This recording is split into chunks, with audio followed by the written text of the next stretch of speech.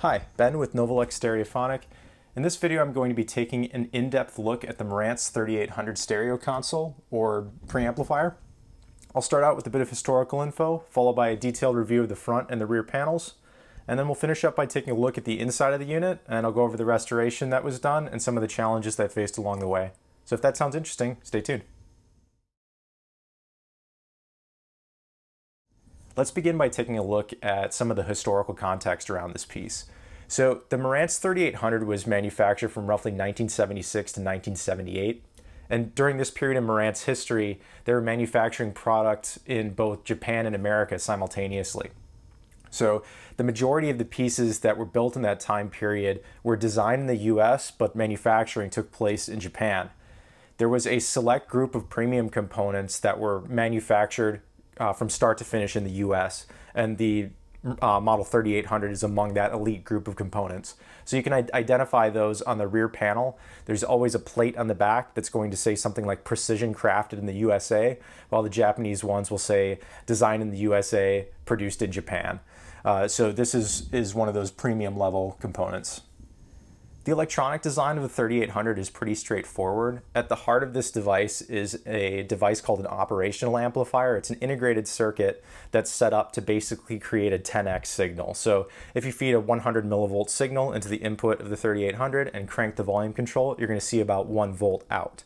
So that that device is is kind of the heart of this unit and then everything else around it is just providing your typical preamp functions of source selection, EQ, filters, uh, mode, stuff like that.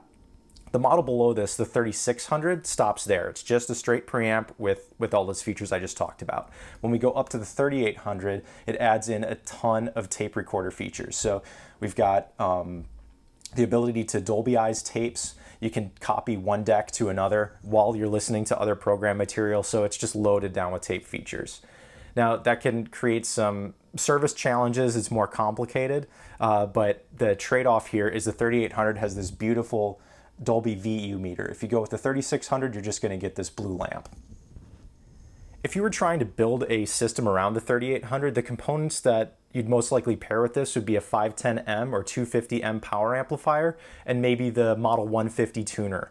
The amplifiers that I just mentioned are American made, the tuner is Japanese built, uh, but they are all advertised together as a set in the 1977 Stereo Components catalog. So that would have been kind of the set that you would have built in that year if you were trying to go with American made separates and then have a tuner along with it. Okay, let's take a look at the front panel. I'm going to push the power button here. And you might have caught it, when the unit powers on, this needle's going to jump up and down a little bit. Now, Marantz implemented a circuit here. It takes about four seconds. When you power on the unit, after about a four second time delay, a little reed relay on the left side here will click and it'll allow audio to pass through. The reason they do that is to protect against power on transients. So when you turn on this unit, the power supply is going to charge, the voltage regulator is going to start to work, and they don't want any of that weird audio signal getting to the power amplifier. So there's a four second reed relay controlled time delay. Okay, looking at the source selection up here, we have two moving magnet phono inputs tuner, and auxiliary, and then these are the tape copy switches. So what would happen with tape copy, for example, is say I have a, uh, a vinyl album that I've recorded onto a reel-to-reel tape, and I want to make a copy of that for my friend. I could select this button, start playback on deck one, and then record on deck two and make a copy of the tape. Now, the unique thing about this feature is it's independent of what's going on on the tape monitor switch and on the source selection. So while I'm making that copy of a tape for my friend, I could listen to the tuner or my turntable. So it's just kind of a feature that allows you to kind of stay busy while you're listening, I guess. I don't know if anyone would ever use it, but it's a feature that this unit has. Now on the 3600, these are just called tape one and tape two. Um, on this unit, they've given you extra features, but it means that if you do want to just listen to a tape deck, you have to use the monitor switch down here. So when you're in source, it's going to select any of these four. When you're in monitor one or monitor two, it's going to force you to listen to either of the tape decks, regardless of what's depressed up here. Okay, moving on to mode. Uh, it's going to be in the stereo position 99.9% of the time. Sometimes I will switch this to stereo reverse just to make sure that my channel orientation is correct. Uh, L plus R is is in essence mono. It's taking all the information from the left and the right, adding it together, and then outputting that signal to both speakers simultaneously. And then right or left, This would allow you to take information in the left channel and output it to both speakers, or from the right channel and output it to both speakers. A possible use case for this might be if you're plugging a microphone into one of these jacks here, you could force it into left, for example, and then get the audio from the microphone to come out of left and right channel. For this next section, I'm going to focus on just the right channel. So we've got bass, mid, and treble. These are on sliders. These are the turnover frequencies. I'm going to put up a diagram in a second that's going to kind of explain what these do. We have filters and loudness. So I'm feeding a pink noise signal into this. Let's just take a listen here. So this is treble. bass, and mid.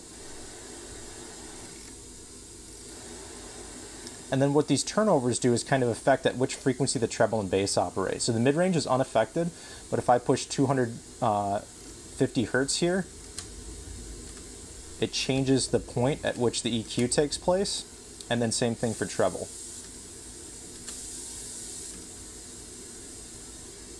And then our filters are fixed. We're not going to hear 30 hertz, it's just too low. 5 kilohertz is drastically going to cut the treble, and 9 kilohertz is going to moderately cut the treble. So the way that these would be used is, the, in the manual it says the 5 kilohertz is only for extreme cases. You have some really noisy piece of media and, and you need to cut the highs out of it. That's what that would be for. The 9 kilohertz is more practical. This would be um, like a typical uh, high filter or treble filter that's going to help if you have a very noisy stereo multiplex recording and you just want to cut some of the noise from it.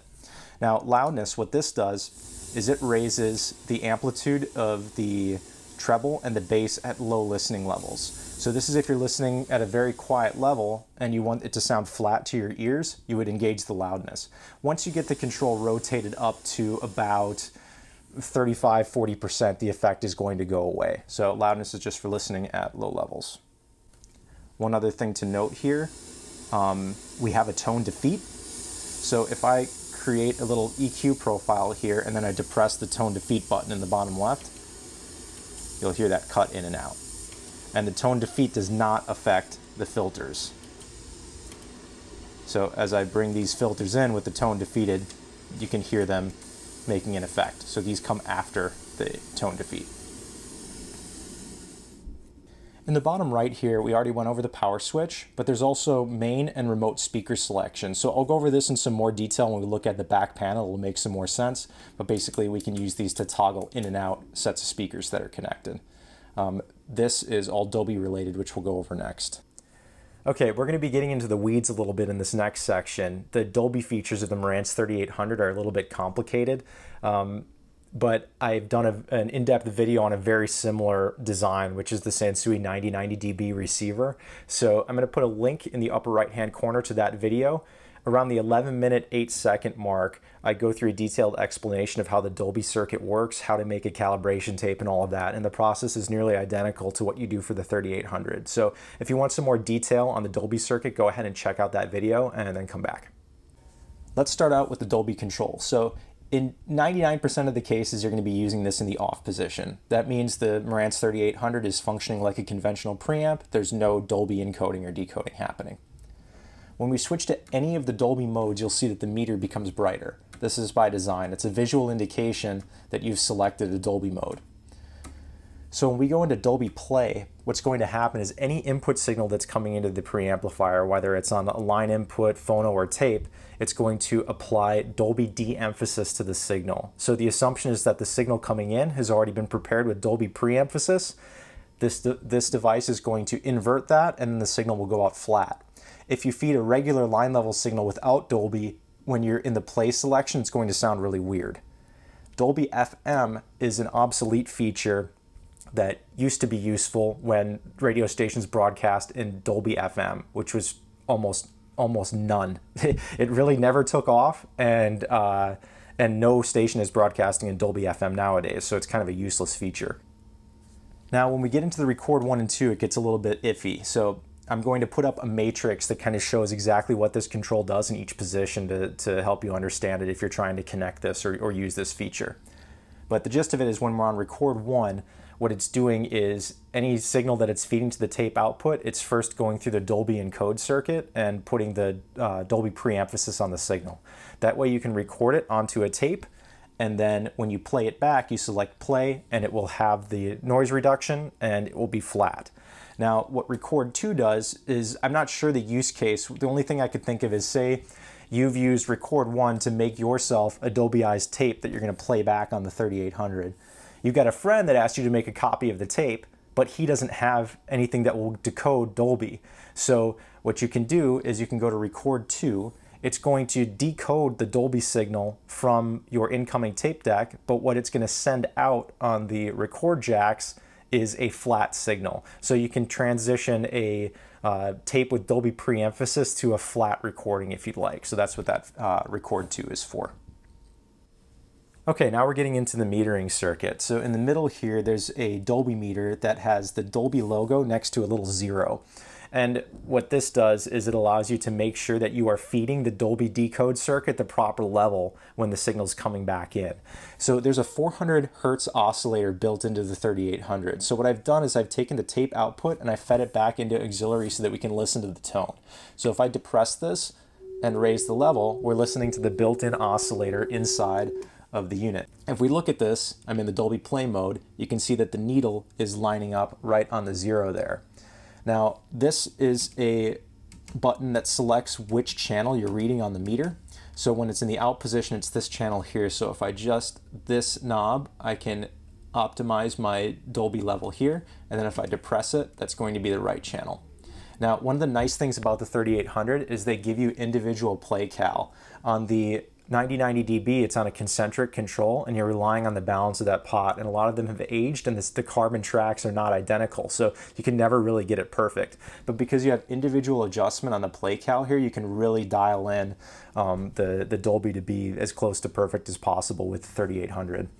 The, the record level knobs over here are meant for setting your actual record level going into the tape deck. So once you go through the whole calibration procedure and you set the record level on your tape deck, you don't want to touch that. So these controls allow you to alter the level. So if you've got a really quiet recording coming in, you can boost it here instead of messing up your calibration on the tape deck side. So that, that's what that's for.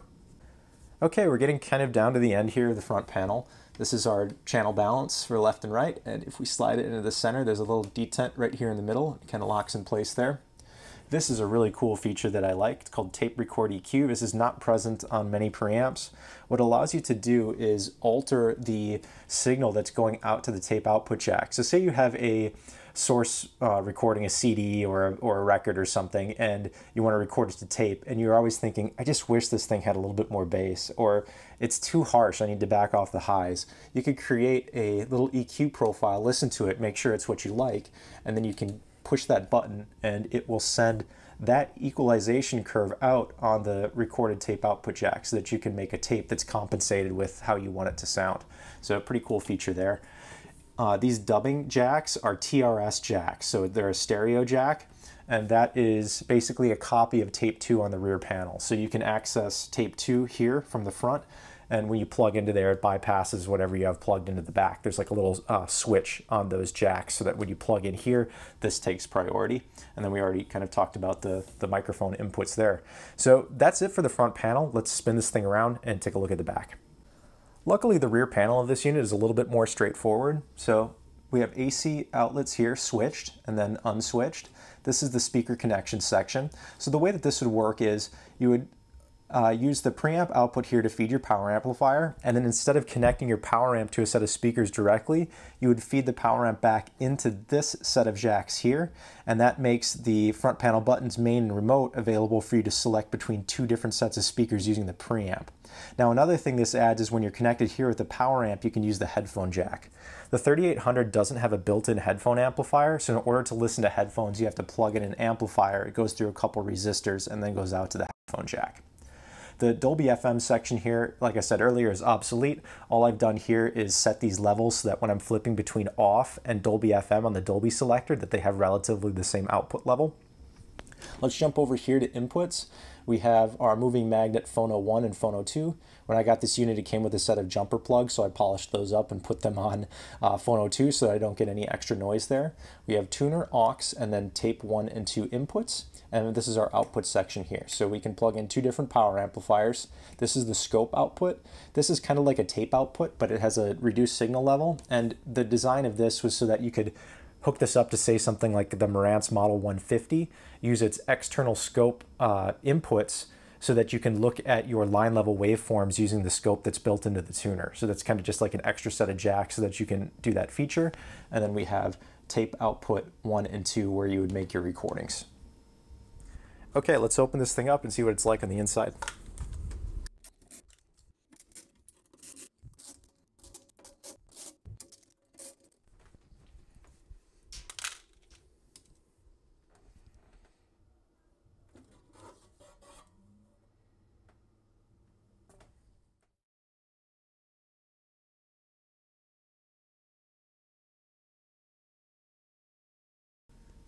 The first thing that always strikes me when open the, opening these American pieces is the blue PCBs. Uh, really high quality boards that they used in these. Um, the top board that we're looking at here is the main preamp board. And if you look at a 3600, it's almost identical. I believe they even used the, the same board and just populated them differently depending on which model it was. So this is where there's usually a reed relay in the 3600, for example. Over here is our power supply. Uh, these axial caps seem to hold up pretty well in this unit. I'll go through the caps in more detail in a second, but the more typical failure area in the power supply is the voltage regulator IC here. This is a TO66 package that's on a heatsink with some thermal compound and has many legs on the bottom. This one is fine in this unit, but I've heard stories about these failing in the past. This is what controls the plus and minus 18 volt power supply in this unit. Another failure mode in these is the operational amplifier. This is the 10x op amp for the preamp. And luckily, there's a guy in Audio Karma that took some time to document how to replace this with a modern chip. So I've gone and replaced this with a Burr Brown IC, um, and that turned out really nice. All right, we're looking at the unit from the side now, and as you can see, it's kind of an unconventional design. The way that this works is there's a vertical panel on the back here and vertical panel on the front, and they kind of sandwich together and plug into the main preamp board. Uh, and then in addition to that, there's a vertical board here that almost acts like a ribbon cable that connects to the Dolby board here. And the Dolby has a um, like an outrigger daughter board on each side of it as well. On the 3600, it's just a U shape like this. None of this circuitry is in the middle. So there's a lot of added complexity on the 3800. Okay, now I'm going to go into a little bit of detail on some of the parts that were replaced in this unit. So the initial symptom on this one was it had no audio. Uh, and what I found on it is if you crank the volume control all the way, you could get audio to come out of it, but there was no other adjustment range. So first I thought this volume control is probably damaged. So I opened it up and took a look at it and it definitely was damaged. So I'll show you what that looks like. And on some of these American made controls, this, this does tend to happen.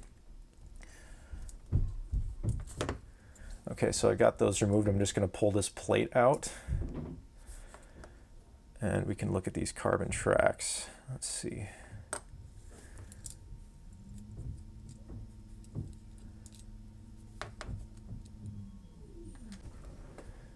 Okay, here's a close look at one of these carbon tracks. This section here, the carbon is completely gone. So when the wiper is coming around here, there would be no contact here. And that's what caused that symptom of no audio output. So what must have happened here is this control was already slightly damaged by maybe exposure to moisture or something like that, and somebody tried to clean it. When I got into this unit, it was this control was sitting in a puddle of contact cleaner, and you know what a control is like that in a state that's already kind of deteriorated and then you feed it with a bunch of contact cleaner depending on which cleaner you use it can really destroy the track. So whatever happened here it completely lifted the carbon straight off of the substrate. So that can happen from time to time in these controls. And another thing that can happen with these is they can develop channel imbalance. So this is for one channel and there's an identical wiper for the second channel. And sometimes they can get to where when you're rotating throughout the range you get bad channel imbalance. So say you're at 10% volume, your left channel might be louder than your right, and you go up to 20% volume and the other channel is louder. So sometimes these do need to get replaced. So that's one of the challenges of restoring one of these is getting the volume control replaced. Okay, let's look at some other parts. So this is the original operational amplifier IC, and this thing kind of worked. So once I uh, got the volume control bypass and I was doing some more testing, I was I was able to get one channel to work, and then as I was probing around, the second channel kicked in, and I really didn't do anything besides touch the pins. So um, this is something that these can become intermittent. So I was happy to replace that with a new chip, and these other parts are just peripheral components. The original IC is many more legs than the replacement. This IC needed a special external network to function properly where modern operational amplifiers have those features built in. So I was able to pull a bunch of components that are no longer needed. So that's what all that's from. What else? Lamps, I ended up doing an LED conversion on this and please don't ask me in the comments for a kit or anything for converting this. This was a one-off. I don't know if I'll ever see another 3800 and I just grabbed some LEDs from my uh, from my stash and set up a bunch of clip leads and uh, resistor substitution boxes and, and kind of dial it in. So I don't have any information on converting this to LED, unfortunately. So these are all the capacitors that I pulled out of the unit that tested good. These were within spec. Um, kind of a mix of everything. So some axials, some radials, different brands. There's just kind of some of everything tested good, but a lot of other stuff tested bad. So these ones here had extremely elevated capacitance. So let me, let me check a couple of these out. And a lot of these will have a 20% tolerance, but some of these are egregious. So this was 470 microfarad. Let's see what this one ended up at. This one might not be too bad. I can't remember. So this was a 470 microfarad cap. Test at 770, so that's very high. Uh, so that's not quite where it's supposed to be. And then these ones were just straight up bad. So it looked like a lot of the small ones had failed. So it was a lot of the 10 microfarad ones. I'll just grab a couple of these. Some of them tested okay, but were starting to creep up on ESR. But a lot of them were just crazy high, 20 ohms of ESR or something, or really bad capacitance value. So that was supposed to be a 10 microfarad, which is fine, but it has 12 ohms of ESR, so that one's bad. Uh, let's try one of these guys. These are supposed to be 22 microfarad, 25 volt.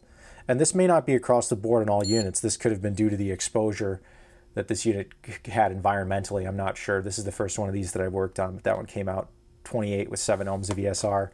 Uh, so these ones are all pretty bad. Let's just go for one more of the small ones. This is another 10. I think there's some 4.7s in here that I can check as well. That one's okay, just a little bit high on ESR. Let's see what this one is.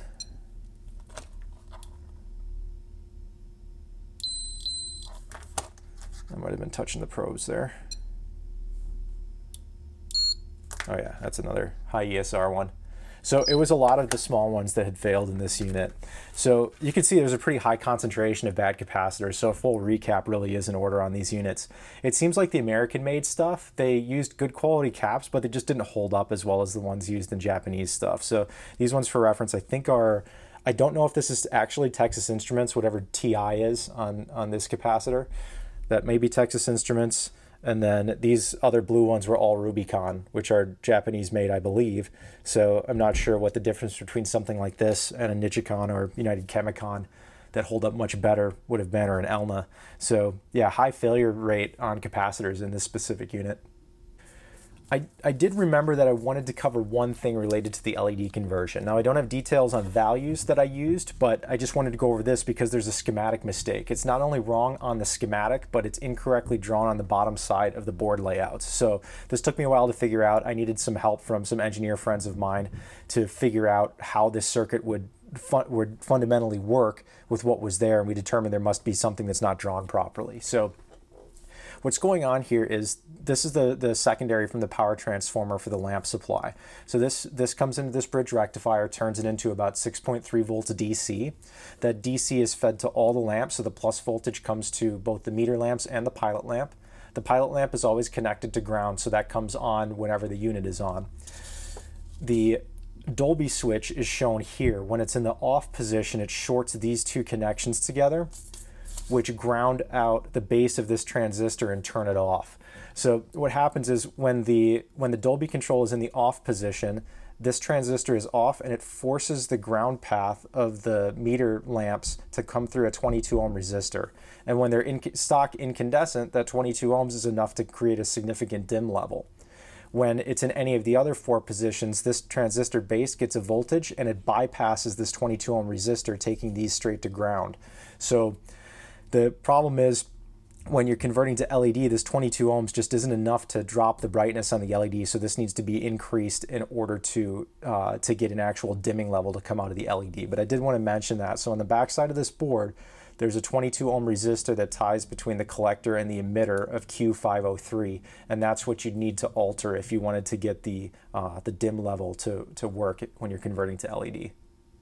Okay, there's one other service item that I do want to address, and this is the relay. So this relay stock is a reed relay. What it happens is the preamp sends it a voltage between these two outer pins and then across these pins are each a relay contact. So when the unit powers on, there's a short delay and then this relay closes and allows the signal to pass in a normal situation, it should be basically muted or unmuted. But what was going on with this relay is when I powered off the unit, instead of opening up all the way, it must have had some sort of a hold on the inside and it would slowly fizzle out as the power supply drained. So this wasn't working properly.